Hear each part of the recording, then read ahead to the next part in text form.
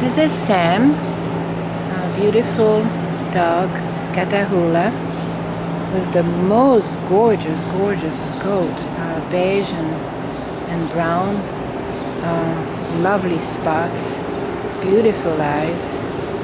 Um, he's here with us at the Manhattan Care Center because his owner died and he's on hold.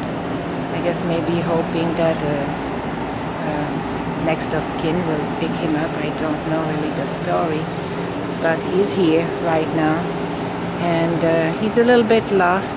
He's a friendly guy. He's sociable, but a little stressed, and sometimes he he barks a little bit, but he calms down when you call him, and he sits next to to you, and he likes to be petted and he kisses. Um, he's a well-behaved dog. He's really. Uh, has been well cared for physically and I think psychologically. He has been well uh, treated and uh, seems to be used to uh, humans. Papi, Sam. Sam is his name. Show your pretty face. Show that pretty face, yeah.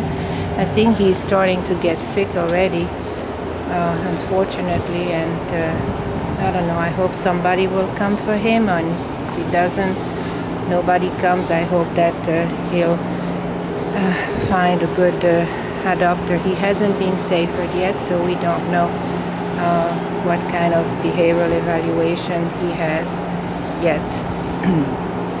so he's really a beautiful dog, uh, very healthy. Besides the beginning, I think, of a cold, he's well nourished and he has been really outstandingly cared for. This is Sam. His owner died He's at the Manhattan Care Center, young guy, two years old only.